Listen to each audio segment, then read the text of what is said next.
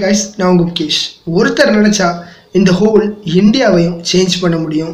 And ஒரு ஏழையை பணக்காரனாகவும் மாற்ற முடியும். ஒரு பணக்காரனை ஏழையாகவும் மாற்ற முடியும். அவ்வளோ தூரம் ஒரு வேல்யூபிள் பர்சன் இந்தியாவில் இவர் இல்லாமல் எதுவுமே நகராது அப்படிங்கிற ஒரு ஆளை பற்றி தான் நான் பேச போகிறேன் உங்கள் வாழ்க்கையிலையும் அவருடைய ஈடுபாடு இருக்குது என் வாழ்க்கையிலையும் அவருடைய ஈடுபாடு இருக்குது அது எப்படி என்னங்கிறத நான் சொல்கிறேன் அவர் யாருன்னா முகேஷ் அம்பானி. அண்ட் இந்த அம்பானி அப்படிங்கிற ஒரு பெரிய சாம்ராஜ்யம். இந்த சாம்ராஜ்யம் எல்லாமே இந்த அம்பானி உருவாக்குனது அப்படின்னு தான் அம் அந்த அம்பானியோட பேருக்க பேக்கில் யார் இருக்கா அப்படிங்கிறது உங்கள் யாருக்குமே தெரியாத ஒரு ரகசியம். இந்த அம்பானிக்கு பின்னாடி இருக்கிறது யாருன்னா த்ரூபாய் அதா அதாவது அம்பானியுடைய அப்பா.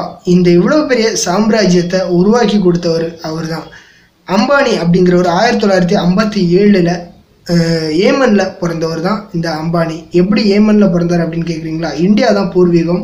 பட் அந்த துருபாய் அவர் வந்து ஏமனில் ஒர்க் பண்ணிகிட்டு இருந்ததுனால அங்கே பிறந்தவர் தான் இந்த அம்பானி. அதுக்கப்புறம் அங்கே நடந்த சில சம்பவங்கள்னால அங்கேருந்து நேராக இந்தியாவுக்கு வந்துட்டான். அந்த டைமில் பெரிய பாப்புலேஷனாக இருந்தது வந்து மும்பை தான். ஸோ மும்பையில் ஒரு பாலிஸ்டர் ஒரு பெரிய ஒரு தொழிற்சாலை ஆரம்பித்தார் இதில் ஏகப்பட்ட வளர்ச்சி. இந்த அந்த ஒரு வருஷத்தில் அந்த ஹோல் இந்தியாவும் திரும்பி பார்க்குற அளவுக்கு அந்த அந்த அந்த ஒரு நிறுவனத்தை அவர் அந்த த்ரூபாய் வளர்த்து கொண்டு வந்தார். அண்ட் அந்த டைமில் தான் இந்த முகேஷ் அம்பானி வந்து வெளியூரில் படிச்சுட்டு இருந்தார். அந்த டைமில் இவர் இந்தியாவுக்கு வர்றாரு. இந்தியாவுக்கு வந்து அந்த பா படிப்பை பாதியில் நிப்பாட்டிட்டே நேராக இங்கே வர்றாரு. இங்கே வந்து அப்பாவுடைய இந்த தொழிலை பார்க்குறாரு. ரெண்டாயிரத்தி ரெண்டில் அண்ட் த்ரூபாய் இறந்து போயிடுறாரு. த்ரூபாய் இறந்ததுக்கப்புறம் முகேஷ் அம்பானி அண்ட் அன் அனில் அம்பானி. இந்த ரெண்டு பேருக்குள்ள ரிலையன்ஸ் கம்யூனிகேஷன் அதை ரிலையன்ஸ் டெக்ஸ்டைல்ஸ் அப்படின்னு இருந்தது. அதுக்கப்புறம் ரிலையன்ஸ் கம்யூனிகேஷன் ஆகுறாங்க. அண்ட் அது அதே மாதிரி வளர்ச்சிகள் வந்து அந்த பாலிஸ்டர்லேருந்து காய்கறி அந்த மாதிரி வேறு வேறு லெவலுக்கு அவங்க அப்பாவுடைய ஒரு பெரிய ஒரு ஒரு கனவாக இருந்தது. வந்து பெட்ரோல். இந்த பெட்ரோல் துறையில் நம்ம ஒரு கால் பதிக்கணும் அப்படிங்கிறது தான்.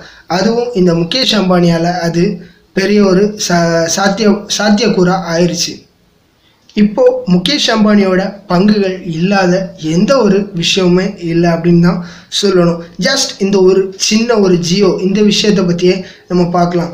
இவ்வளோ பெரிய ஏர்டெல் எல்லாமே ஒரு பெரிய சாம்ராஜ்யமாகவே இருந்துகிட்டு இருந்தது. அதாவது சிம் ஏர்டெல் வோடஃபோன் என்ன சொல்கிறது ஹட்ஸ் யூனினார் அப்படி ஏகப்பட்ட சிம் இருந்தது.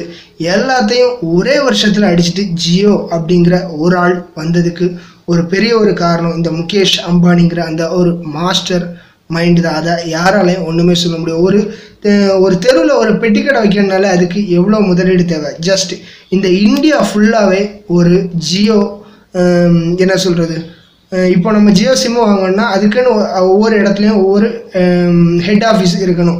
அப்படி எல்லாம் ஹோல் இந்தியாவிலையும் உருவாக்குறது எவ்வளோ பெரிய விஷயம்? அண்ட் அவர் ஒரு நம்பர் டென் கோடி கோடீஸ்வரர்கள் பட்டியலில் அவர் ஒரு ஆள். ஸோ அவரால் இது சாத்தியப்படும். ஒரு இந்தியாவை சேஞ்ச் பண்ணணும்னா இவர் ஒருத்தரால் சாத்தியப்படுங்கிறது இந்த விஷயத்துலேருந்தே கிளியராக தெரியுது.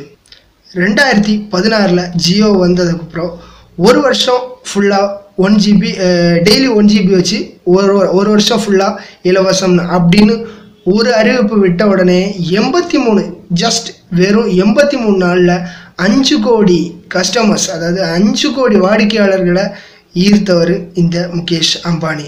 ஜியோ அப்படிங்கிற ஒரு பெரிய ஒரு ஆயுதத்தால் மொத்த ஹோல் இந்தியாவையும் கைக்குள்ளே வச்சுருக்காரு. முந்நூறுரூவா நானூறுரூவாய்க்கு ஒன் ஜிபி அதை கஷ்டப்பட்டு செலவு பண்ணுற நாட்கள் போய் இப்போ ஒன்றரை ஜிபி கொடுத்தாலும் ஒவ்வொருத்தருக்கும் காண மாட்டேங்குது.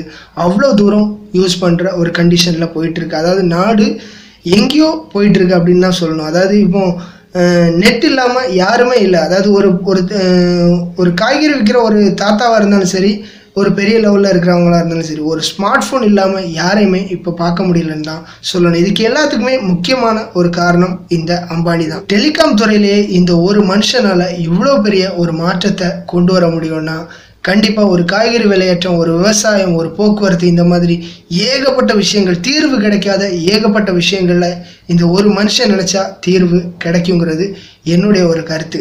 இந்த வீடியோவை பற்றி நீங்கள் என்ன நினைக்கிறீங்கிறத கமெண்ட்டில் லீவ் பண்ணுங்கள் லைக் பண்ணுங்கள் ஷேர் பண்ணுங்கள் நம்ம சேனலை கண்டிப்பாக சப்ஸ்கிரைப் பண்ணுங்கள் தேங்க்யூ guys.